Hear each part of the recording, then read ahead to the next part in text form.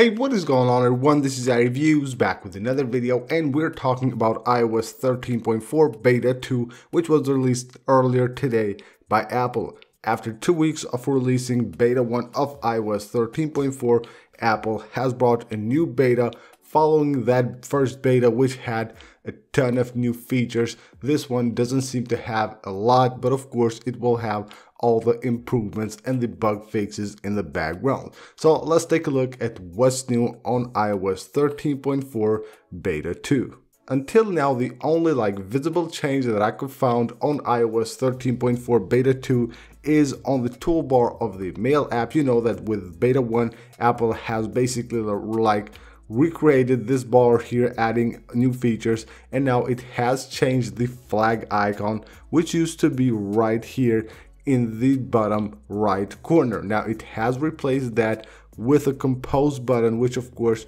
will start composing a new email. So instead of the flag, now you will have this one right here. Otherwise, you won't actually see like any new big changes on beta 2 of iOS 13.4. Of course, everything should be, be smoother in the background. Hopefully, we'll get improvement on battery as well, even though it's not that bad at all. Now, taking a look at the Geekbench here. So I did a test of iOS 13.4 beta 1 and beta 2.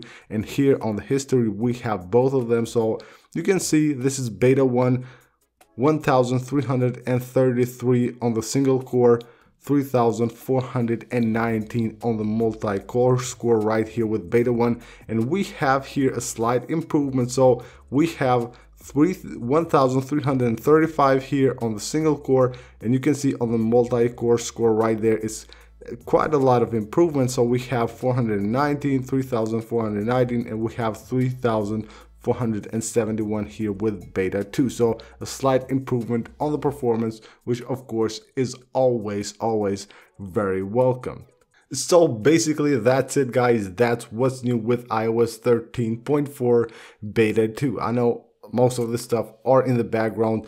After seeing a beta 1 with all those new features i expected apple to add maybe like 10 or 15 new features to beta 2 but it looks like they have added all of them on beta 1 already and you will not see that many changes even though this software will probably go through four or five maybe even six betas before it gets released to the public, which I believe should be by the end of the March. If Apple is holding an event that time, that should be the time that they will release this software to the public as well. So that's basically it. Thank you guys for watching. Don't forget to subscribe for more, and I'll see you on the next one.